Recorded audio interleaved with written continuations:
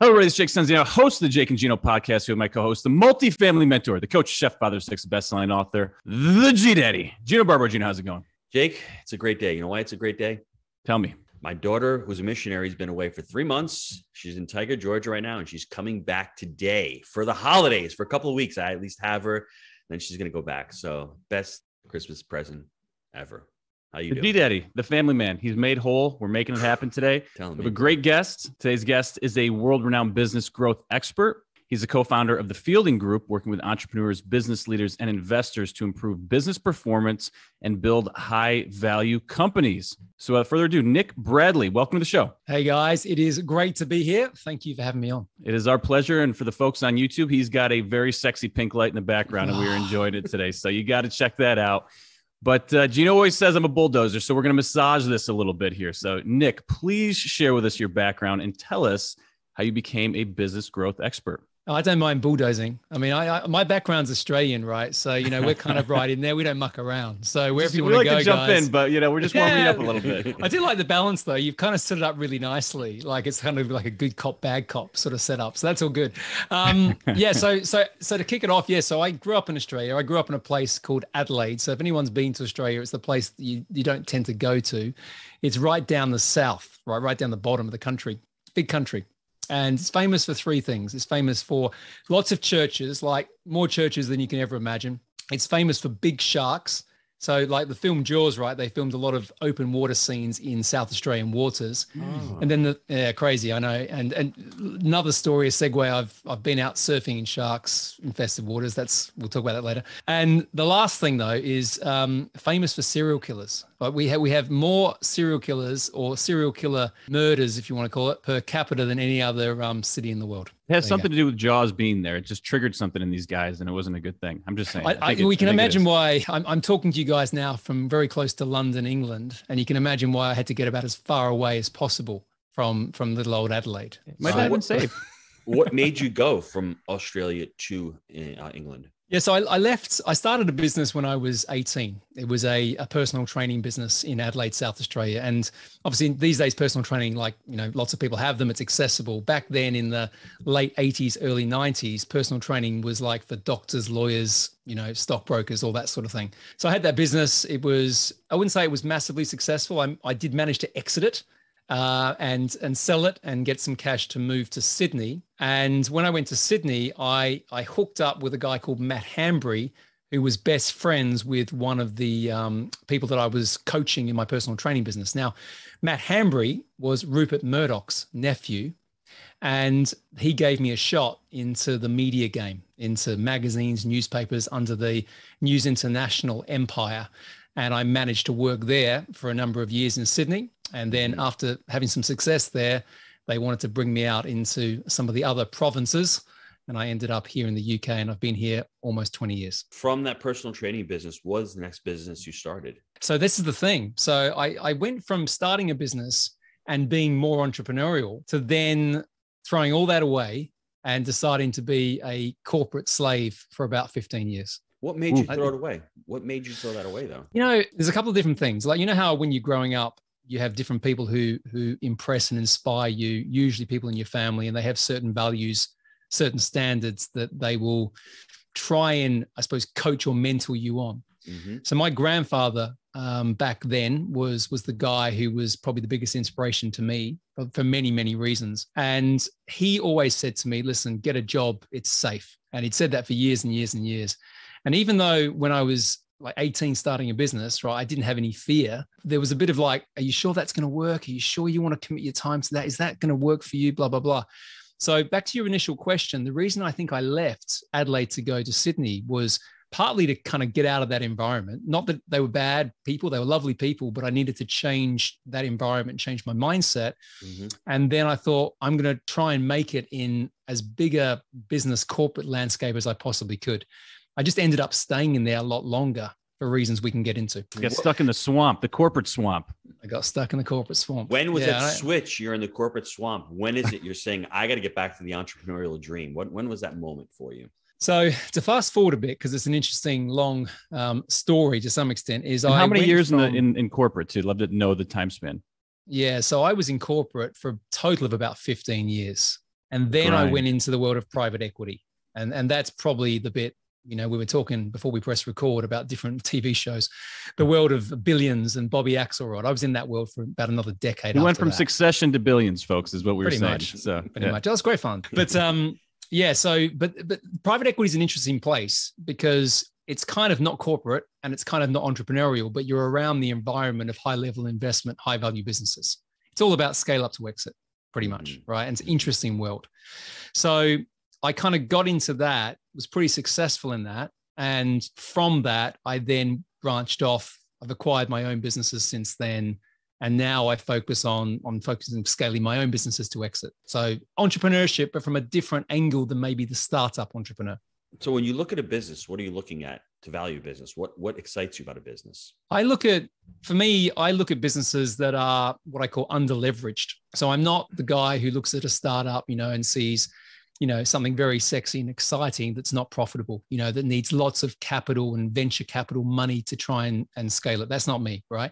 I find it quite um, annoying that people look at a business like a, a WeWork or certainly Uber and they go, oh, wow, it's worth billions.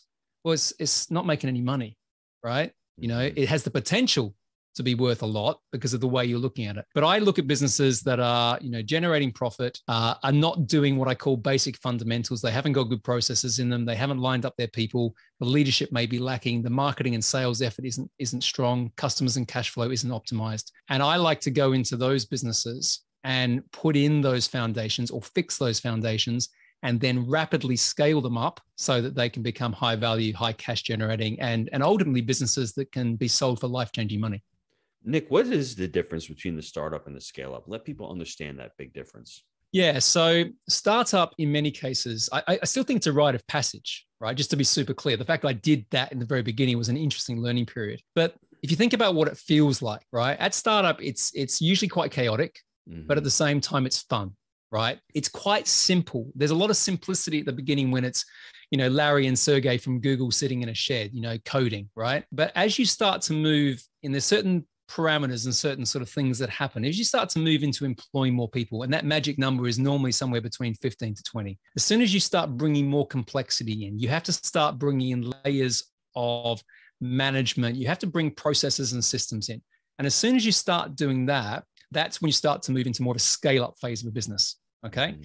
Yes. now, what a lot of entrepreneurs struggle with is that's not a lot of fun. Oh, it's process, uh, right? And that's where you see a lot of these businesses hiring in other CEOs and whatever else when they get to a certain level because it's different skill set and mindset to take that business up. But the way I look at it like this, just to summarize, you know, the answer is a business that's generating predictable revenue, predictable flow of the right customers, core processes that are driving a well-oiled machine is something that defines a business that's in the scale up stage and it's also defines a business which is highly valuable because if i'm going to go buy a business you know ultimately the more that it is set up and running well the higher the value is for me because i don't have to go in there and fix it Mhm. And when you're looking at, at a business and you're looking at its leaders, what are you looking for in, in its leadership? Yeah, so I'm looking for a balance of different skill sets across. So, you know, if you go back to some of the stuff that Gino Wickman talked around his amazing books, um, Traction and Rocket Fuel, he talks about visionary and integrators, right? So you need someone in the business, usually the founder or, you know,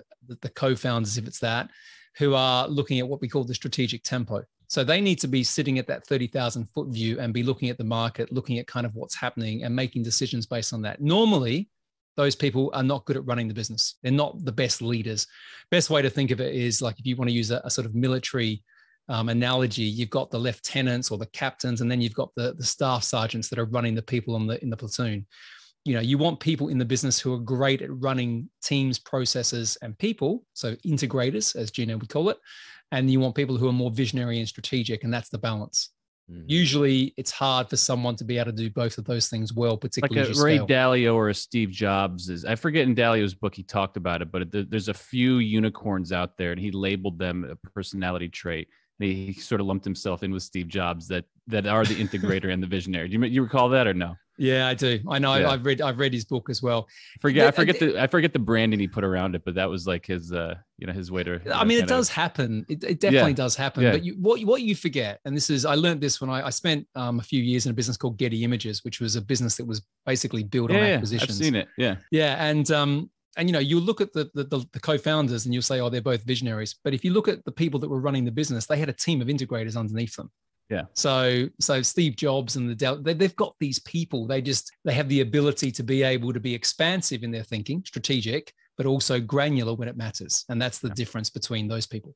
Let's pull this into the multifamily, Jake. If Pull it Gino- in. If Jake and Gino have 75 units and we're sitting there, we're going, it's time to scale. Uh, We're just the mom and pops here. We're burned out. What's the next step that we need to do to scale our operations? Let me let me ask you three questions, right? Absolutely. And these are these are these are three important questions. This is which a are proven actually process right here, Gina. I'm, I'm ready for this. I'm ready to well, go. I- well, this, this is more. This is going to get you thinking, guys. Here we go. Right. First and foremost, right? You're saying, you know, you're getting potentially burnt out. You want to, you want to scale, you know, exit, whatever. What is your individual life changing number, guys? What's the number? Not the number that's a billion or 500 million or whatever it is. What's the number that changes your world, that gives you both back time and money freedom? You have to say it, but that's the question. No, say it, What- Gino. He ain't afraid. I've Yeah, surpassed, go for I've, it. I've Step up to the plate. I've surpassed the number, so it's it's irrelevant to me. So He wants 20 G's a month. Is that what we're Gs talking about? Yeah. 20 G's a month can get him in a, a stable position. five years ago. Okay, so if, people, if I yes. said if I said look in your bank accounts now, right? So we're getting think like what would be the number that you'd want to see there? Let's uh, not that you want to keep in your bank accounts, I get that, but let's just let's just play this game.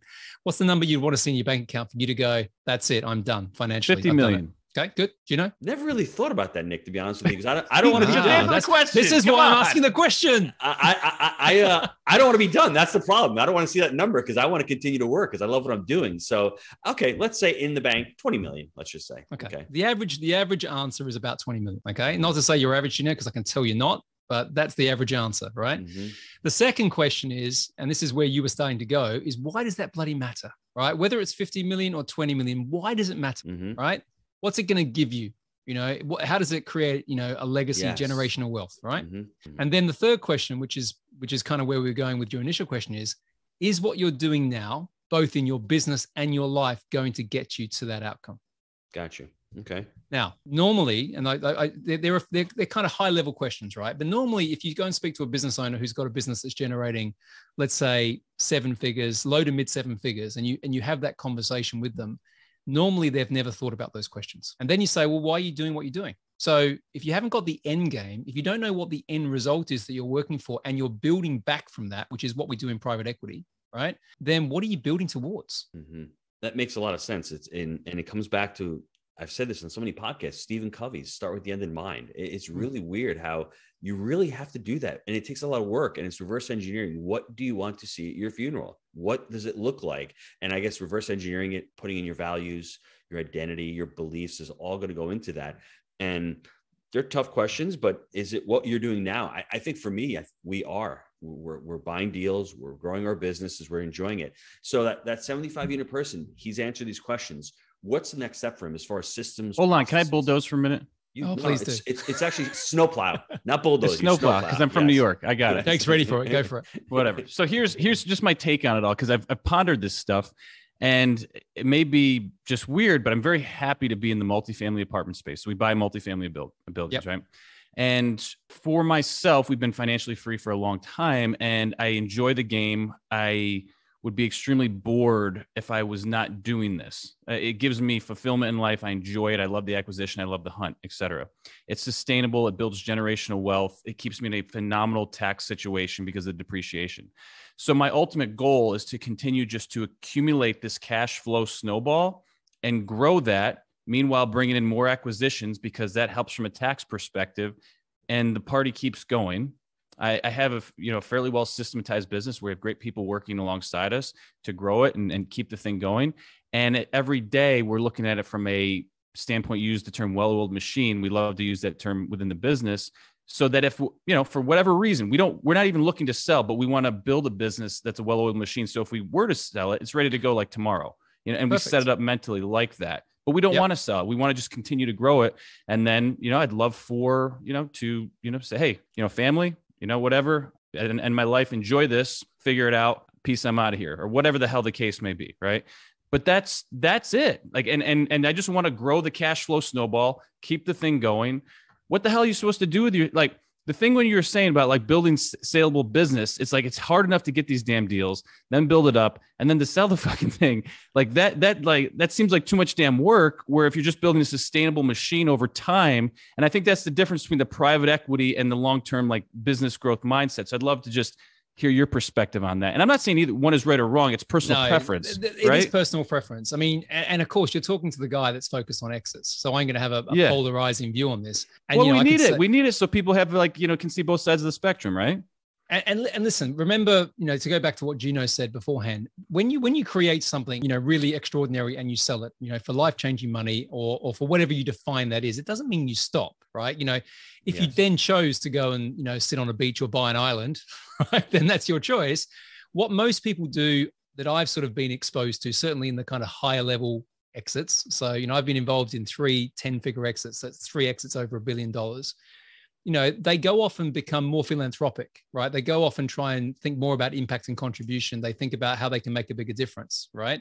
They also um, go off and build a bigger empire. So if the game is no longer money, the game might be what you think you are capable of, could also be status, right? You know, people don't like to admit that, but that still can be a massive driver, right? So it's like, like because you're doing the philanthropy thing, like the world's viewing you as a better human, and it makes you feel good yeah. about yourself, right? And people don't talk about this shit, but you know what? No, but let's be, be fucking real with it. Like that's a huge thing. Like you're, you're stroking your ego. Look at me, I did so well, and now I take care of the world, baby. Like you know, let's yeah, be honest. It's like it, right? you know, it's like it's like it's the golf club conversation. Yeah. Oh, so you know, so Jake, you sold your business for like a lot of money.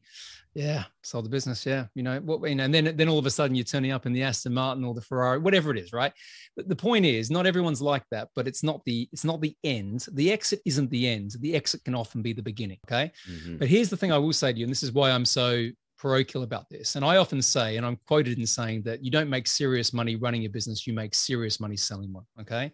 And that's where you can get the compound effect of, of all the time you put into it. So the last big exit I was involved in was a, um, a, private equity exit. We sold the business for $2.3 billion in 2017. And that was a 14 times multiple on the profit of that business. For everyone listening to this, what does that mean? Well, that means take one year of profit in your business, right? Times that by 14, 14 years and get that in one lump sum. Mm-hmm. Okay. And then you've got all the crazy tax things you can do. And you get cut down on it. So it's like, yeah, but fair enough. Yes. Depends right? where you depends yes. where you offshore yeah. your money. But let's, yeah. that's a different podcast. right. But but anyway, but you know, and and so the reason I the reason I say this and, and I and I and I'm 100 percent on the fact that you don't have to sell it, but you need to build it to sell. Right? I agree exactly with that. 100 percent. Yes. Because let me tell you the horror story. Just one of many. So in in I've been involved in 117 acquisitions and 25 exits, right, over my sort of 10 year private equity career there was one that really kind of grates me still. And this was um, a young guy, sort of late late 30s, and he'd built up an energy business. And he was essentially selling wholesale energy, which you can do here in the UK. He'd been doing that for just under 10 years, and he had positioned the business for exit. He was going to sell it.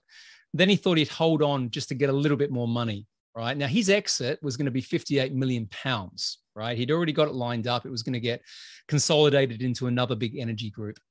Anyway, long story short, tariff uh, legislation changed, and the EBITDA of that business went from eight million um, per year to eight hundred thousand pounds. Right. Then he got fined 14 million pounds because he was there was an issue with the way that the um, tariffs were then um, changed. He ended up selling that business for 150,000 pounds, right, just the assets. Ah.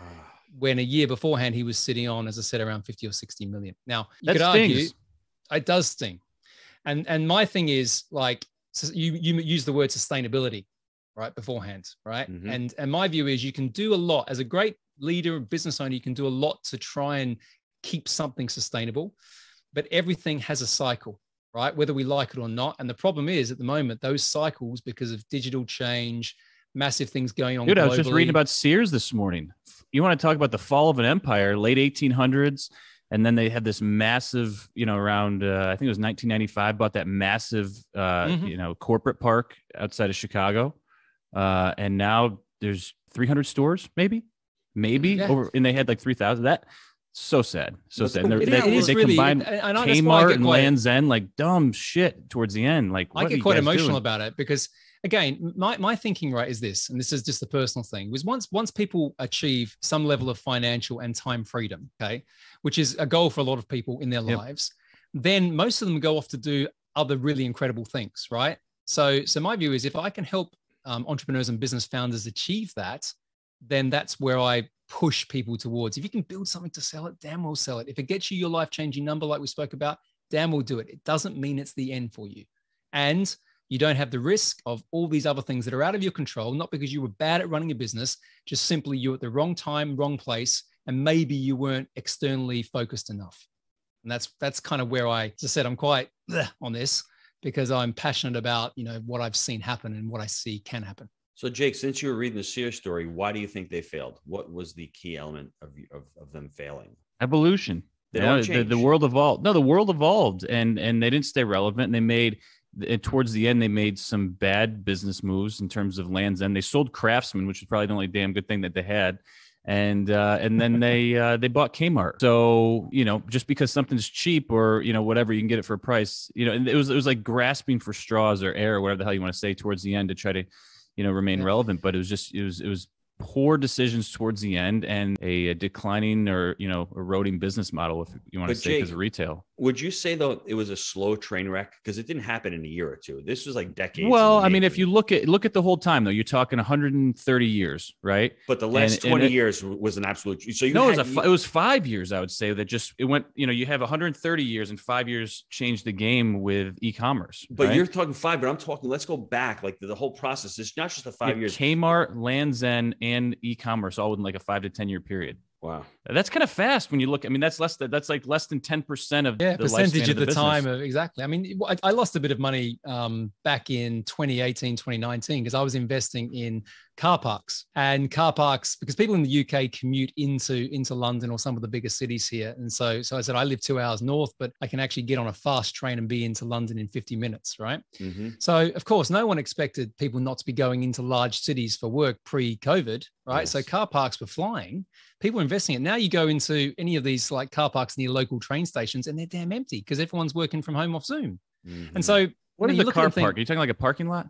Yeah, parking lot. Different gotcha. Just here. making sure. Yeah, never heard it. No, yeah. that sort of thing. Like yeah. it's it's just changed, right? Because there was a big thing happened. No one predicted a pandemic, right? Or maybe some people did, mm-hmm. and it just changed the way that we work. Yeah. and all of a sudden, like you know, if you've got an empire of you know parking lots, for private equity back, all of a sudden the value of that that model has changed. And that's just mm-hmm. obviously yeah. one example. Before we go to the short answers, I like this question here the growth precision. What's the five key areas that a business must master to really scale? Yeah. So, so I look at it from to start, you said in the very beginning, you've got to start with the end in mind. So the first part is being really, really clear on, on purpose, purpose and direction. Okay. So for me, it's understand what business you're building, why it matters, and where you're heading towards. It's the whole mm-hmm. saying of you know if you're going to fly somewhere in a plane you know you better have a destination otherwise you're going to end up somewhere it may not be where you want to go and you'd be surprised even decent businesses when you go in there and say okay so where are we going here right what's the north star people can't answer that I would say 60 to 75%, just throwing it out there. They can't answer that. I couldn't answer my first very business. Even when I started Jake and Gino, now I have a clearer vision. That was only a few years ago. So that's a really challenging question, everybody out there. If you're at 75 units, what's your end in mind? What are you looking to do with this business? Take a yes. step back right now, pause the recording, and reflect on that for a couple of minutes because it's a challenging question. And I think the rest of what Nick's going to be discussing will make much more sense to you. So start with the end in mind. Where do you want to end up ultimately?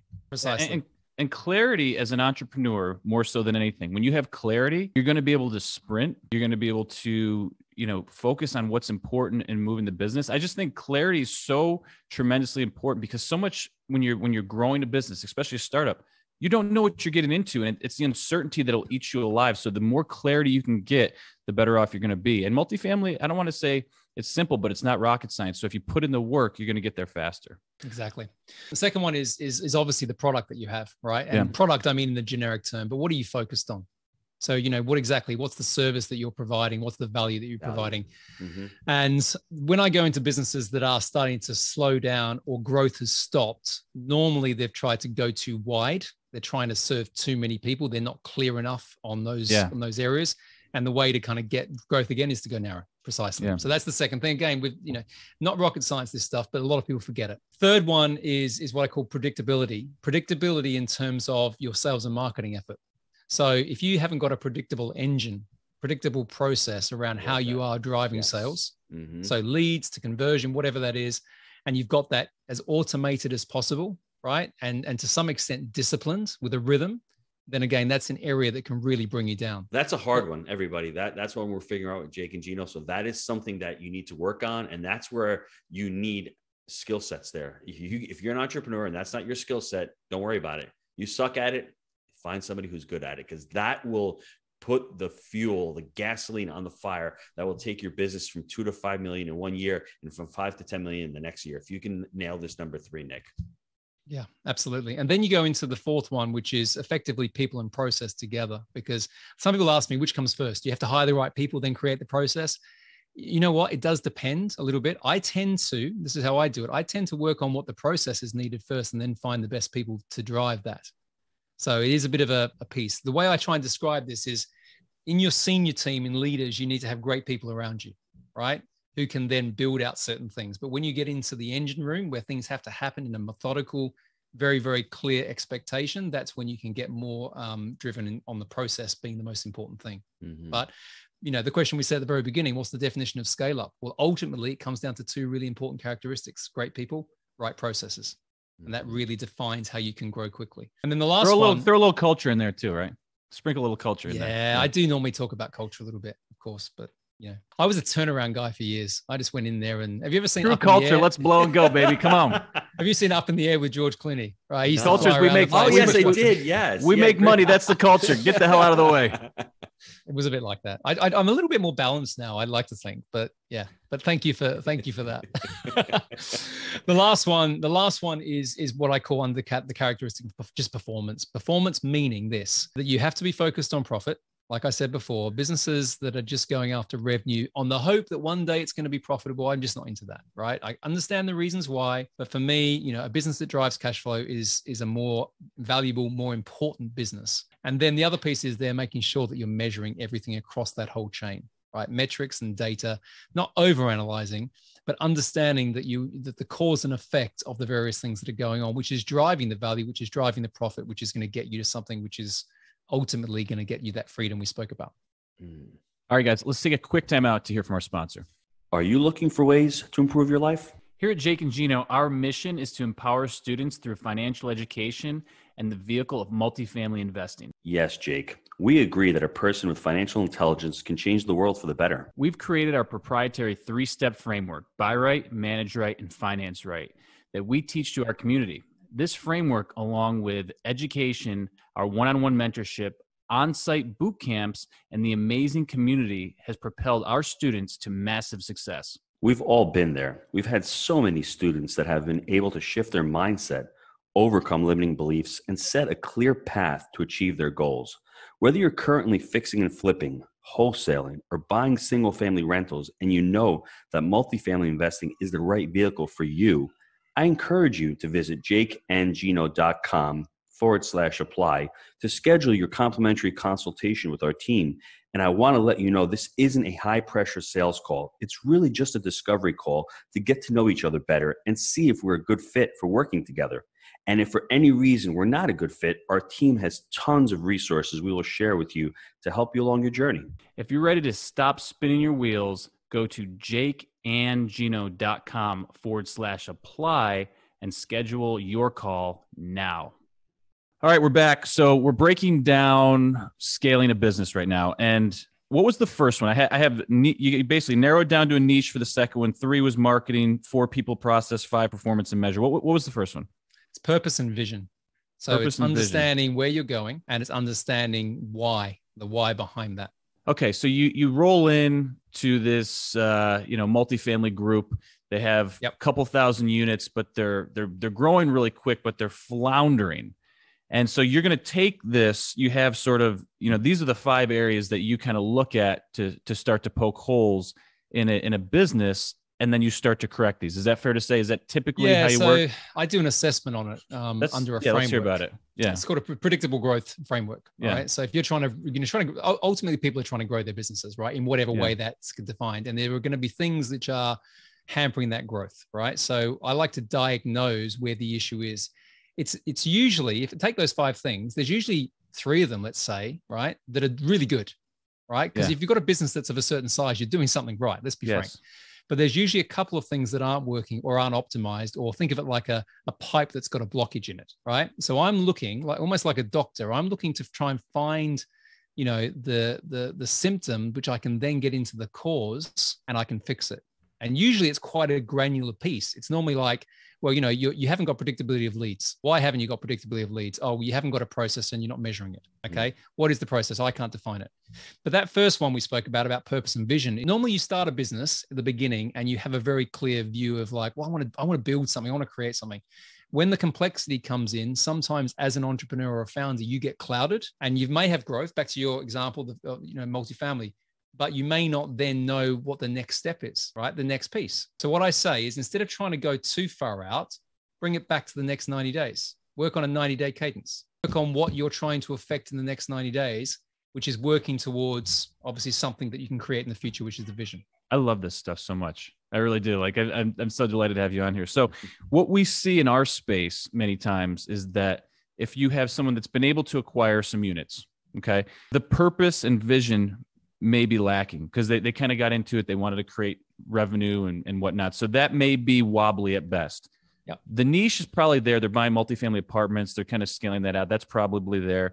The marketing's probably there. High demand right now for multifamily, typically not an issue if they're self-managing, meaning that they're they're not third party in the property manage it, management, the people and process could be a huge issue, huge yes. hole. So so one and four, and then and then that people and process probably rolls in through the management with number five, where they're not clear on their KPIs and what they should be measuring to hold people accountable. So two, three, probably there. I could see one, four, and five. So the folks out there, if, if you know you're growing your business and things, these are the the holes that may be in your boat right now um, that that could be remedied. And you know, I, I think that, we've done scaling up, we've done traction and things like that. You need to basically get with a group that focuses on you know this stuff that can help scale your business or you're going to remain floundering. That was the difference between us creating a well-oiled machine in, in our in our group versus you know people going what the hell? Our hair's on fire and and not enjoying life right? I mean that's you probably have some experiences of, of rolling into places where it's like oh my god this is chaos yeah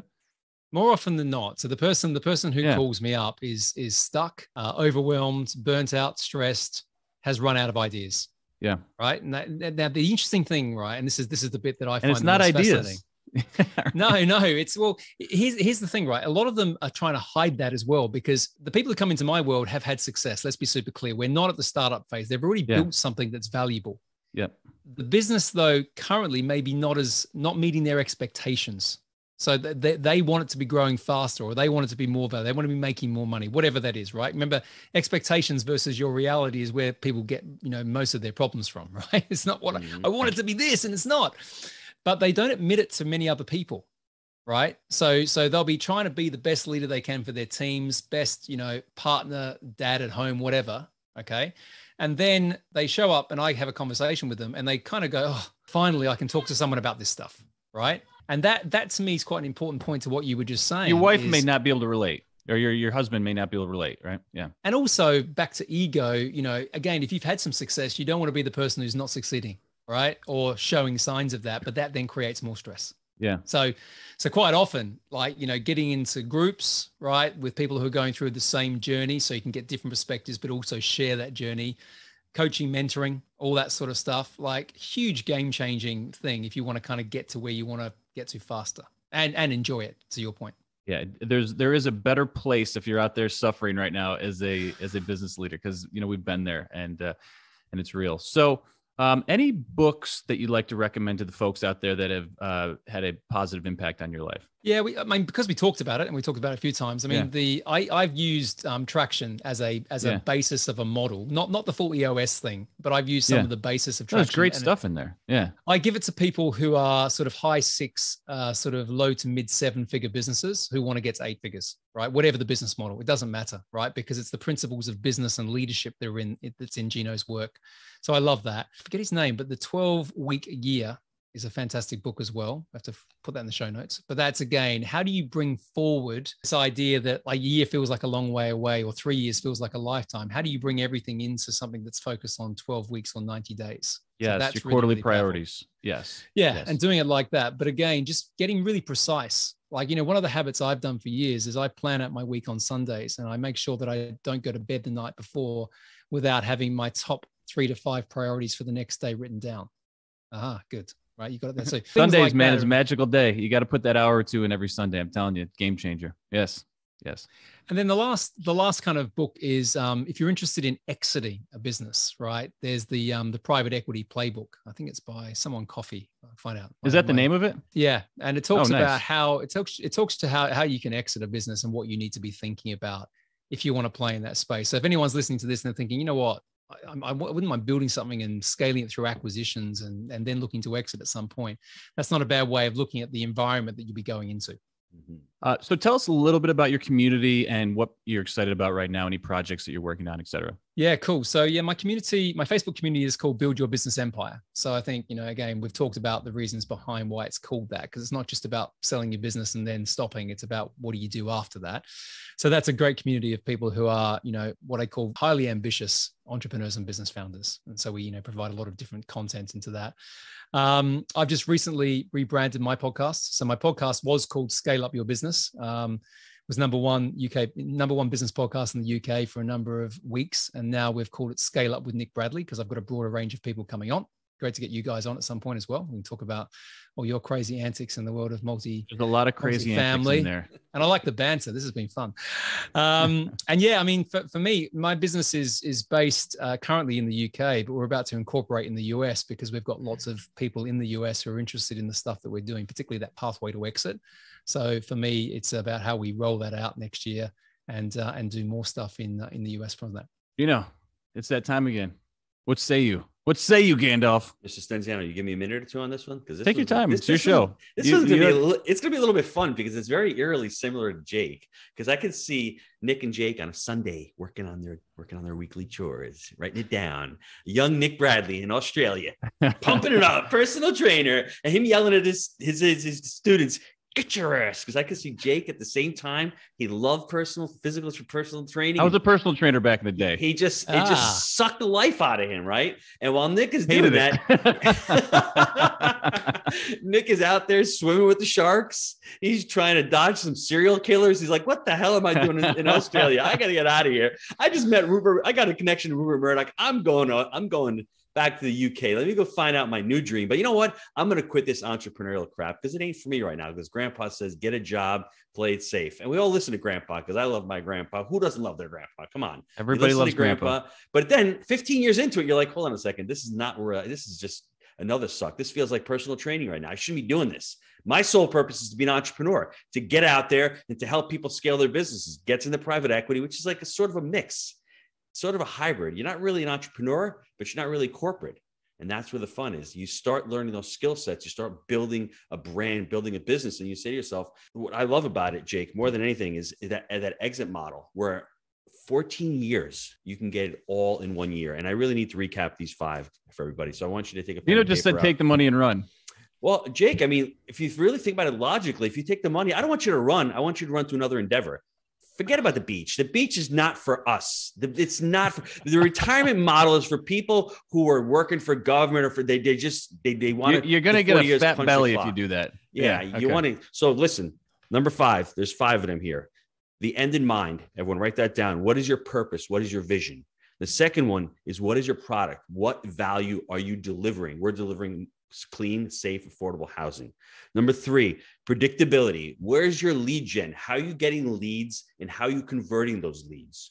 The fourth one, processes, people, people, processes. Whichever one you want to put in. culture. That's it. People, systems, and culture. That the three of them. And number five is the performance and the measure. Because if you can't measure it, then you can't manage it.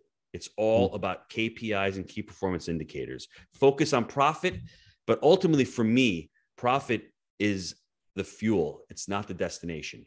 And I think everyone listening to this is we want to use the profit to continue to grow our businesses. And if you're going to exit it, it's all about what the cash flow is and what about the profitability is. So that's what I got, Broseph. Here's the thing. Oh, One of damn, two- that was a good summary. no, that was a that was a performance, and one of two things happened. Gino was either with his opera coach last night, or Julia, his wife, gave him a double espresso before the show. Tell us the truth. Which is it? Bro, I can rip one out right now. I was I was, a little, I was doing a little opera last night. So uh, you know what It it is, Jake? opera. I, I'm gonna be honest with you. This is stuff that I wish we had known 10 or 15 years ago. And I'm gonna be completely honest with everybody. I had a restaurant for 20 years. If I knew this shit 20 years ago, I would be freaking Olive Garden because this is so vital. It's not about sitting in the kitchen and washing dishes. It's about getting somebody to do that for you. And this is what we didn't mention. You are the person when you started as an entrepreneur. You need to grow out of that person because Jake and Gino were cutting grass, we're doing the bookkeeping, and that's okay. But that's not where the value is. Ultimately, you need to transform yourself into what Nick is talking about. And that's hard. That's shedding your identity and creating another identity. And at Jake and Gino, we create multifamily entrepreneurs. That's our vision statement. That's what it's all about. It's not just about acquiring assets and building a portfolio. It's about becoming an entrepreneur. It's about legacy skills that you learn that you can actually teach to your kids. You don't want to transfer wealth to your children. You want to transfer those skills that you've learned. And how do you do that? By becoming an entrepreneur and by creating impact. What All say right. you, Stenzi? It would not have been Olive Garden. Okay. Just saying. You would have been like, you would have been like, for the families out there, you would have been like Gusteau in Ratatouille. Okay.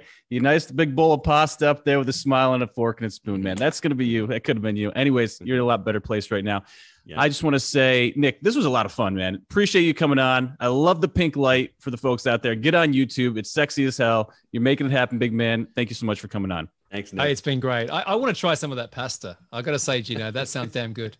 Dude, I'm on quinoa now. Can't have pasta anymore. As you get older, so you gotta watch quinoa, it. go, Yes. go, plant-based quinoa. There we go. But now, listen, guys, awesome conversation. Thank you so much for having me on the show today. Take care, Take everybody. care. Thanks. See you guys.